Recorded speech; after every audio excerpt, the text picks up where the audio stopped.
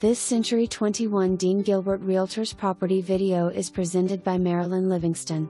29.46 air conditioner sits behind 6 acre tract at Frontage Road, easement on west side of 6 air conditioner tract, just north of Texoma Medical Center perfect for multifamily development of townhomes or apartments or recreational area.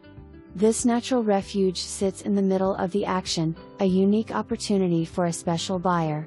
For more information, Review the details below or contact Marilyn Livingston at 903 815 1760.